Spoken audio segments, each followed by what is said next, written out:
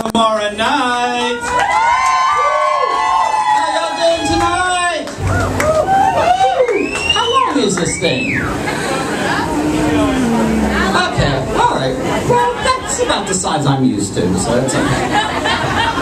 Honey, I married a rich and well-hung husband, so we've celebrated 20 years together, believe it or not.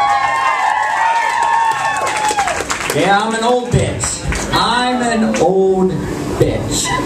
They can all call me old, that's okay. I paid my dues. Everybody knows that I'm the oldest still performing queen in this city. And I think I look pretty fucking hot. Not a stitch of fakeness here. Plastic surgery, I mean. Fakeness, yeah. Duct tape, yeah. No plastic surgery, just 10 pounds of makeup and anybody can look fabulous. Oh, honey. Let a drag queen slap you in the face and woo! You're gorgeous! Now those boobs will be up to your chin. Duct tape, huh? Well, they're getting there. They're getting there. I'm kind of like titty envy, but that's okay. You know. Hold on. Photo up. There we go. You know, we're all show offs. We have to, uh, you know, pose for cameras and everything else. Oh, another one. Hello. Let me get this big black thing out of my mouth.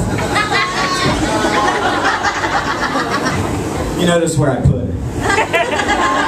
Oops. So anyhow, we've got another two beautiful, beautiful girl coming out, and they're real girls. And when I tell you they're beautiful, they are very, very beautiful. Not only outside, but inside. I had a chance to talk to them in the back, and they're just lovely. But they are actually belly dance artists. Yes, Cara and Joanna, and I hope I pronounce this right. The, the uh, company name is Sadiqa. And they're here to wow you with some sultry, sharp, and fabulous moves. And of course, if you love what you see, which I know you will, you can always visit SadukaBellyDance.com. And it is not Sudoku the game, it's S-A-D-I-Q a belly dance. So just so you know, little info. Ladies and gentlemen, here's